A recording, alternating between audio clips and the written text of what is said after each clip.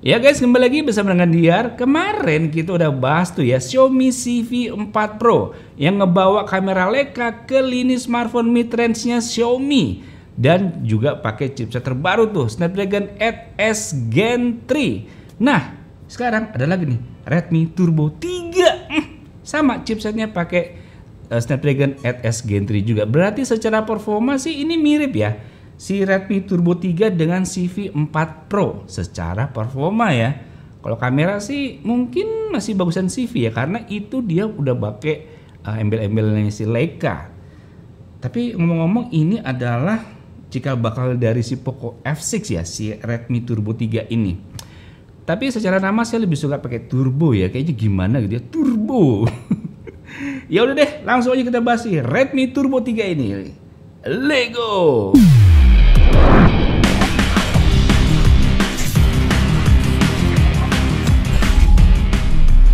Oke, jadi ini dia boxnya dari Redmi Turbo 3. Kalau dari boxnya sih saya suka ya. Boxnya kayaknya ini beda dari yang versi-versi sebelumnya deh. Yang ini boxnya hitam, terus ada garis-garis samar-samar gitu guys. Kelihatan keren sih. Atusan Redmi Turbo 3 yang kalau kena cahaya tuh warna-warni dan hmm, dipamerin nih. Powered by Xiaomi HyperOS. Hmm, mantap juga ya di bagian belakang nggak ada informasi apa-apa. Dan ini saya ambil yang varian RAM 16 GB internal storage-nya 1 TB Wuh, ini saya ambil yang warna uh, silver kalau nggak salah. Oke langsung aja kita buka. Wup, hmm, mantap. Ya, Redmi Turbo 3 Uh, gila keren. Saya suka loh nih boxnya nih. Beneran deh. Daripada ngebawa nama Poco F6 gitu saya lebih suka ada turbo-turbo gitu guys ya Oke, jadi ini dia ada box yang berisikan pasti SIM tray ejector, ya kan? Seperti biasa. ya, kemudian di sini ada buku panduan singkat.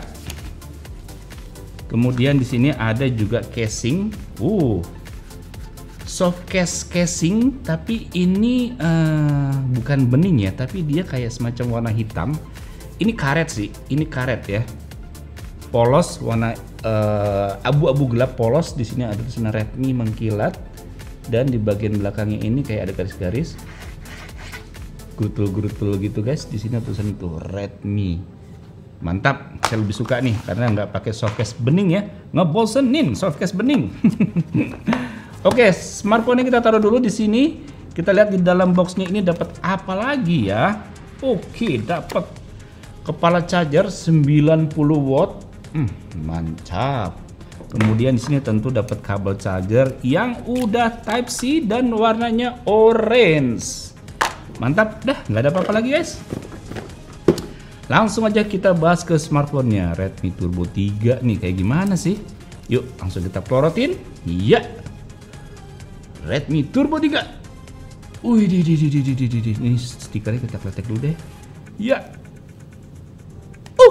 Oke, jadi ini dia Redmi Turbo. Hmm, secara desain kok mirip sama Redmi Note 13 series ya? Kok Redmi Note 13 series sini ada garisnya nih, set gitu ya. Terus kemudian yang Pro tuh ada garisnya sini juga. Ini kenapa nggak menghadirkan suatu desain yang benar-benar baru ya? Tapi kalau diperhatiin sih modul kameranya beda sih walaupun sama-sama bulat. Yang ini kayaknya lebih gede ya. Tapi modul kameranya gede kalau diperhatiin lagi sih kameranya cili-cili ya. yang ini bukan kamera guys ya, yang ini LED flash melingkar gini.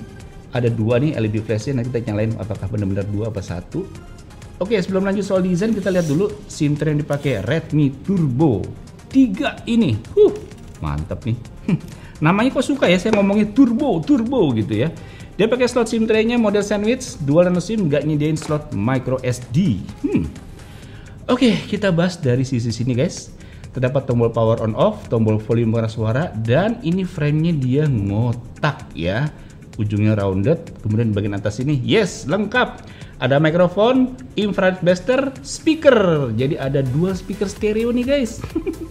kemudian di sini polos ya, nggak ada apa-apa ya. Dan di bagian bawah ini ada speaker, port Type-C, mikrofon, dan slot SIM tray yang udah kita buka tadi. Dan di bagian belakang ini ada dua buah kamera, dua LED flash, dan tulisannya Redmi. Di sini juga ada kamera selfie dan ada earpiece-nya. Oke, okay. secara look sih simple, cuman ini Build quality-nya bagus guys, enggak kacangan, bukan plastik, bukan juga aluminium yang murahan. Ini keren, solid banget di tangan tuh, warnanya juga keren loh. Tuh, warnanya juga keren cuy. Uh, ngotak. Eh, deh, deh, hampir jatuh. Kalau jatuh kan gimana? Eh, aduh. Oke, jadi kita langsung nyalain aja deh. Hup. Redmi powered by Android. Is keren cuy. Ya kita lihat tampilan screen locknya. Wow. Wow. Bezelnya guys tipis banget guys. Kiri kanan atas bawah. Wah keren sih. Lihat nih bezelnya. Uh. Indah sekali ini. Si Redmi Turbo 3 nya. Kita masuk ke home screen. Oke. Iya, kita lihat ke bagian menu uh, My Device. Dia pakai Xiaomi HyperOS 1.0.6.0.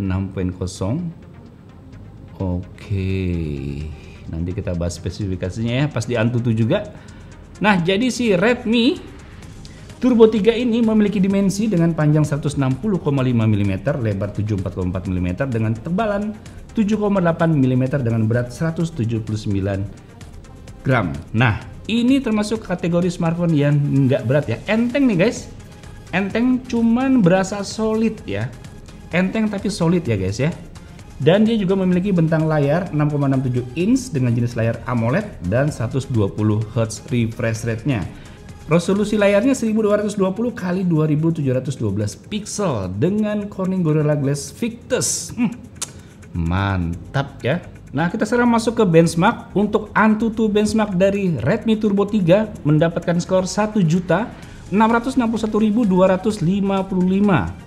Oke, kita lihat nih speknya. Dia pakai chipsetnya Snapdragon 8S Gen 3, GPU-nya Adreno 735. Dan untuk baterainya sendiri ini adalah 5000 mAh. Oke, mantap. Untuk konektivitasnya dia udah ada GPS, WiFi 6, Bluetooth 5.4, NFC, fingerprint ada, biometric face juga ada. Mantap, termasuk infrared blaster ya. Kemudian untuk GPU Mac benchmarknya mencapai skor 1.504.800 gelar maknya lengseng nih ya guys ya. Dan untuk Geekbench 6-nya untuk single core-nya 1499, multi core-nya 4506. Dan untuk 3D Mark-nya kita lihat slingshot max out, white left-nya max out, solar B 4745.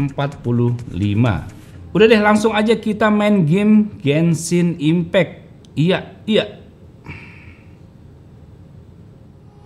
Nah ini udah masuk ke gamenya Genshin Impact. Tapi sebelum mulai saya kasih lihat nih guys untuk settingan game turbonya udah saya maksimalin ya biar main gamenya lebih keren lagi. Oke langsung kita mulai. Kalau ngeliat dari speakernya kayak kurang keras ya, walaupun ini stereo. Nah, udah masuk ke gamenya Genshin Impact. Kita lihat. Widih. Tajem banget, smooth banget. Zeng, zeng, zeng, zeng. Wow. Ini saya main game Genshin Impact ya dengan settingan grafiknya rata kanan ya. High, high, highest 60 FPS. Oke, langsung aja kita cari musuhnya nih. Hello. Hei, musuhnya mana? Itu di sana kayaknya ada musuh ya.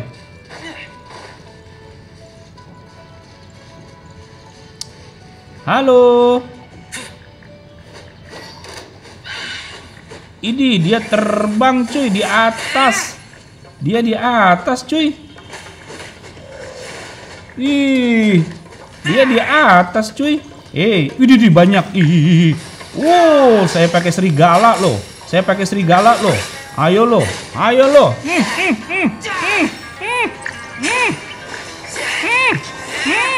Ayo lo, ayo sini sini. Kroyokan, ayo kroyokan sini. Waduh, waduh, waduh, saya mati bentar lagi nih, saya mati bentar lagi. Lari, lari, lari, lari, lari, lari aja, lari. Itu darahnya udah mau habis. Darahnya udah mau habis ya. Aduh, dikeroyok cuy. Eh, ternyata speakernya keras juga ya. Ternyata speakernya keras juga. Tuh. Speakernya keras juga guys. Ini dikejar tuh, dikejar, dikejar, dikejar. Dikejar deh. Ini ada musuh lagi di situ. Gila bener sih. Waduh, itu si Babon lagi udah ngumpet sini aja deh. Oke guys, jadi sama tim saya udah dites nih FPS-nya memainkan game Genshin Impact dengan settingan highest 60 fps selama 10 menit. Dengan game turbo aktif di mode performance bisa lancar dan cukup stabil kita mainkan di 55 hingga 60 fps dengan fps rata-rata di 59 fps dan fps terendah di 50 fps saat kondisi bertemu banyak musuh. Dan suhu maksimal saat kita tes mencapai 42 derajat celcius. Mantap ya. Nah untuk game PUBG Mobile di Redmi Turbo 3 ini bisa kita lihat settingan grafiknya. Di grafik smooth frame rate-nya ekstrim nih guys kemudian kita aktifin gyroscope-nya ya. Dah. Langsung aja kita mainin. Jebret. Ini guys udah masuk ke gamenya PUBG Mobile. Gyroscope-nya aman ya guys ya. Dan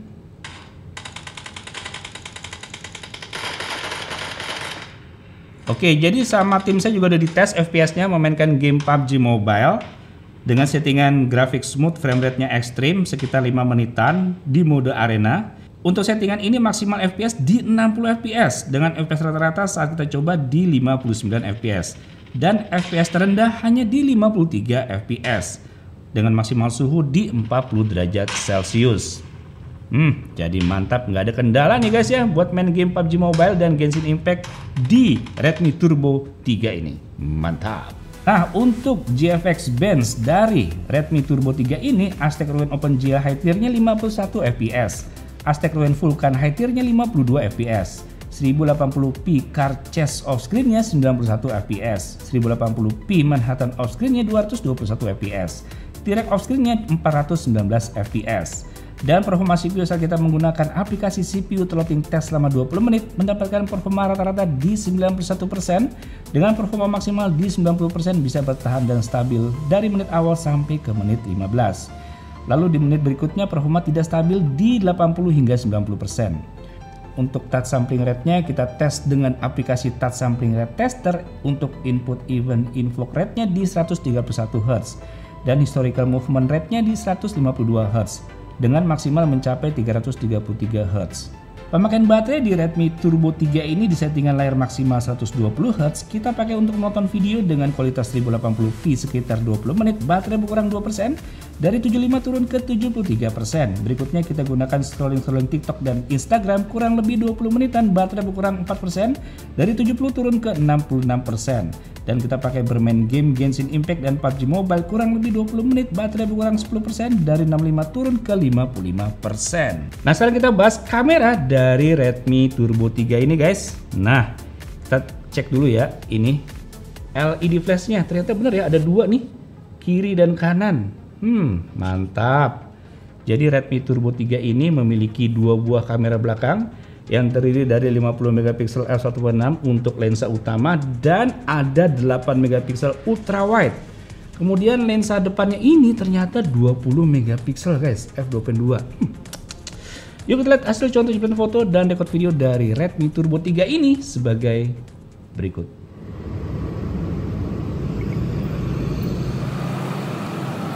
Ya guys, sekarang saya ngerekam pakai kamera belakang dari Redmi Turbo 3. Formatnya Full HD 30 fps. Dan kalau saya lihat di layar ini anteng banget ya. Kita lihat ke atas, kita bisa rubah ke lensa ultra wide nggak nih?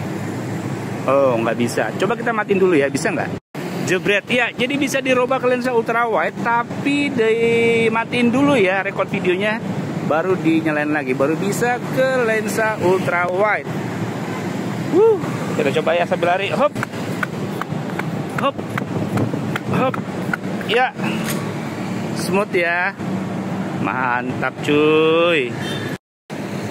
Ya kembali ke lensa normal satu kali formatnya Full HD 60 fps dan masih sama ya smooth Dan lihat nih guys, uh, warnanya tajam dan kental ya. Hijaunya lihat tuh guys, tekstur temboknya. Hmm. Uh, mantep nih tuh. Wih, bagus guys. Warnanya, dimensinya. Hmm. Si Redmi Turbo 3 ini membuat ulah ya. Jebret 4K 60 fps kita lihat apakah tetap stabil sih, cuman agak sedikit ada dikit goyangnya, tapi tetap stabil sih. Tetap stabil loh. Wow, warnanya juga tetap cerah, tajam gitu ya. Uh, mantap cuy. Coba kalau kita zoom ya. Wow. Wow. Oke. Kita back lagi. Wow. Mantap. Nah ini pak kamera depan dari Redmi Turbo 3 formatnya Full HD 30 fps tangan saya segini gimana? Kalau lihat di layar kayaknya sih anteng nih. Cuma nanti kita lihat hasil akhir di komputer seperti apa. Tuh. Bagus guys. Wajah saya jelas. Nih bangunan juga jelas. Kalau awan gimana? Oke. Oke. Hmm. Mantap sih. Lihat tuh video-videonya ya warnanya natural. Jebret ya ini full HD 60 fps nggak bisa di 4K ya sayangnya ya. Cuman ya lumayan lah ya full HD 60 fps nih. Uh, mantap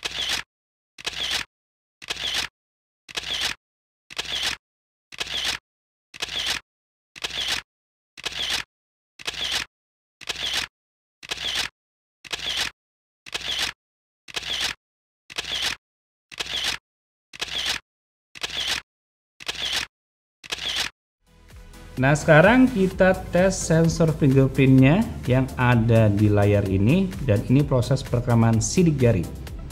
Sejauh ini oke, okay. hmm, mental sekali tadi ya. Ya, tidak mental lagi.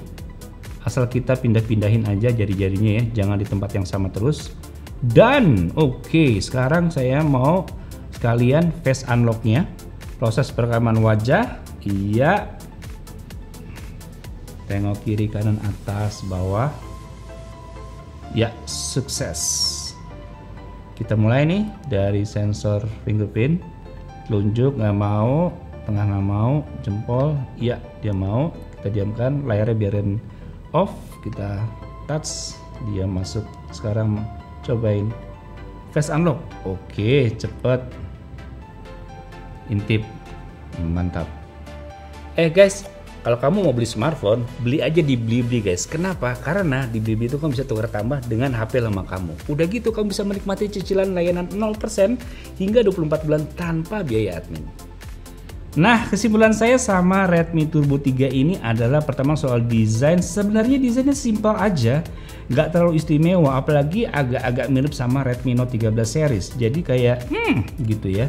Cuma kalau diperhatiin lagi, ini sih good quality-nya bagus jadi kebantu sama build quality yang bagus walaupun desainnya simple. Kemudian untuk performa sih nggak ada masalah dengan chipset Snapdragon 8S Gen 3-nya ya. ya. Dia bisa memainkan game Genshin Impact di settingan 60 fps highest itu FPS rata-ratanya bisa di 55 hingga 60 fps stabil tuh guys dan di PUBG Mobile juga bisa di 59 fps jadi nggak terlalu masalah juga. Temperaturnya juga sebatas 40 hingga 41 derajat Celcius aja. Dan untuk kameranya sih saya bilang ini bagus, cuman kayak ya kurang spesial aja. Untuk bokehannya rapi, bagus, terus untuk foto normalnya juga detail, warnanya mencerah gitu ya. Uh, vivid banget, kemudian uh, smooth juga gitu ya. Cuman kalau dibandingin kameranya sama yang ini, yang ini CV4 ini, waduh nih guys, dari segi desain aja udah beda ya. Beda ya. Nih yang ini CV4 ini harganya sekitar 7,7 juta, menyentuh hampir 8 juta lah. Kalau yang ini uh, Redmi Turbo 3 ini cuma 6,2 jutaan aja. Jadi memang terpaut sedikit agak beda jauh sih ya. Dari segi harga memang untuk kualitas kamera tentu yang ada lekanya ini yang bagus banget apalagi bokehannya tuh bisa hmm, kelihatan banget cuy dimensinya Terus lalu ini nggak enaknya apa sih? Nggak enaknya kayaknya nggak ada ya, tapi paling nggak ada jack audio nih. Kemudian dual speakernya kayak kurang lantang, tapi ya nggak pelan-pelan juga, tapi kayak kurang, uh, kurang kurang lantang aja gitu. Bezelnya bagus, tipis ya. Udah sih. Ya paling kalau ini masuk jadi Poco F6 ya, teman kalau saya sih saranin mendingan bawa-bawa nama turbo deh, keren. Ya nggak? Menurut kamu gimana? Oke, demikian video mengenai Redmi Turbo 3 ini semoga bisa menambah wawasan kalian. Sampai jumpa di video selanjutnya. Bye.